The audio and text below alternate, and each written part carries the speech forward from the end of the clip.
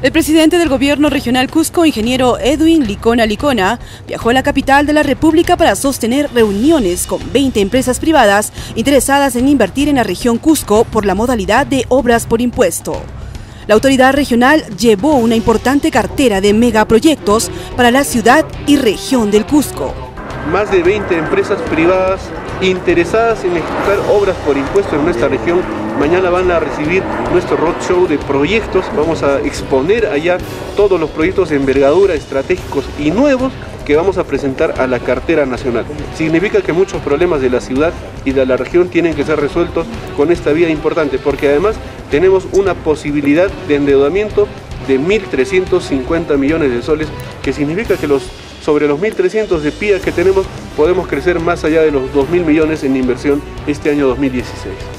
El proyecto especial regional Instituto de Manejo de Agua y Medio Ambiente, en visita guiada a la prensa, mostró avances importantes del proyecto Río Guatanay en los tramos de San Sebastián, Saya y zonas vulnerables que en años anteriores generaron situaciones de emergencia por el desborde del río Guatanay. Pero ustedes han estado en Condebamba, en Saiwa, que había sido una zona vulnerable hace 10 años, ah, perdón, hace 5 años, en 2010, entonces ahora están viendo una zona segura, están viendo zonas agrícolas que antiguamente han sido devastadas. Aquí mismo vemos donde están los gaviones, estos maiceles todos fueron arrasados.